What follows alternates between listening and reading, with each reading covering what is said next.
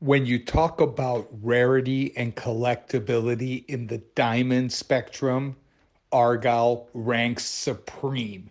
You were looking at a four and a half carat top gem quality. This color type, if you look at the color chart on the Argyle diamonds, it is known as a PC1, which is pink champagne 1. You can see the pinks amongst the champagnes. This comes out of the Argyle mine. This particular pipe, the AK1 pipe, is globally renowned for producing the pink diamonds. And what's remarkable about pink diamonds is till today, we still don't understand what gives it its colors. If you look at yellow diamonds, we know that nitrogen is what gives yellow, you know, diamonds, it's yellow color. But when you look at the pink, we don't know 100%. But what we believe is this particular volcanic pipe transported the diamonds from the Earth's mantle. And when they erupted and these diamonds were moved to the Earth's crust, they sat on the Earth's crust for over 1 billion years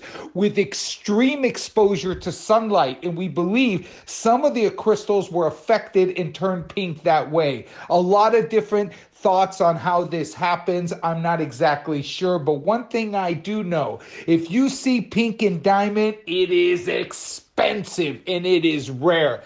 Guys, I bought this diamond, no joke, over 20 odd years ago. This is rare.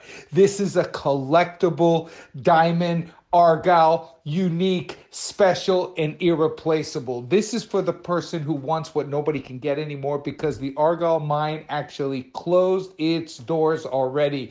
You can look online. Rio Tinto, who ran the AK1 pipe, the Argyle diamond mine, actually announced the closure of its doors. There was just nothing. And that's what happens when you look at gemstones of rarity. But you can see this is Asscher cut. It is beautiful. It is a big size diamond, 4.57 carat, surrounded by 1.67 carat of D flawless. This is amazing. So if you like to collect rare diamonds, this piece is special and unique.